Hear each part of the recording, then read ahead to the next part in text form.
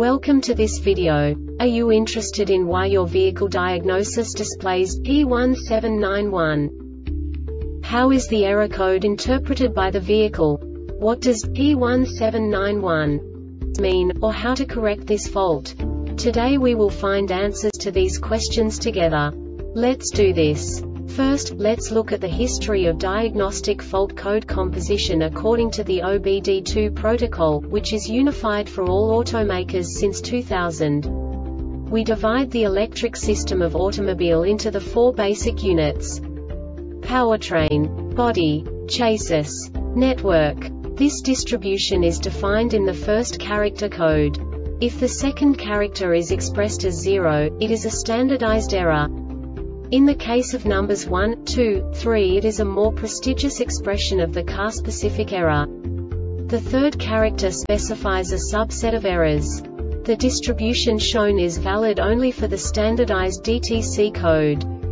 Only the last two characters define the specific fault of the group.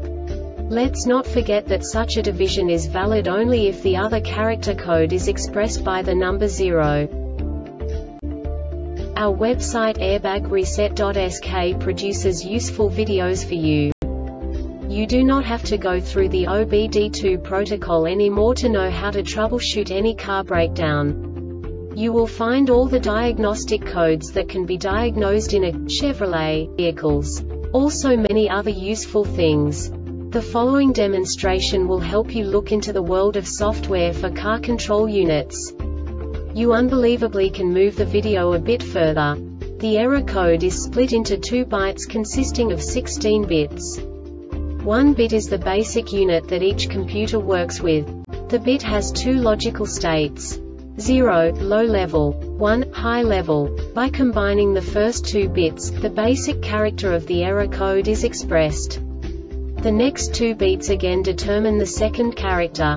The last bit styles of the first byte define the third character of the code.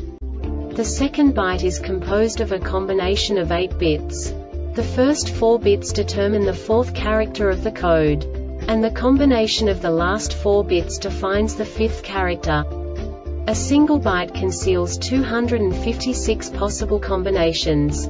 We now know in what way the diagnostic tool translates the received information into a more comprehensible format. The number itself does not make sense to us if we cannot assign information about it to what it actually expresses. So, what does the diagnostic trouble code P1791 interpret specifically Chevrolet car manufacturers? The basic definition is Driver steering wheel airbag deployment loop stage 2 open. And now this is a short description of this DTC code. Ignition voltage is between 9 to 16 volts. This diagnostic error occurs most often in these cases.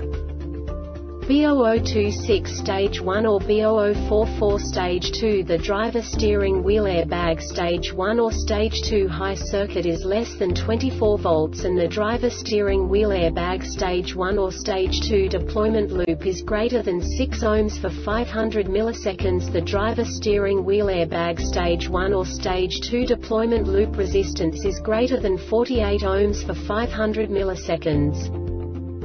The Airbag Reset website aims to provide information in 52 languages. Thank you for your attention and stay tuned for the next video.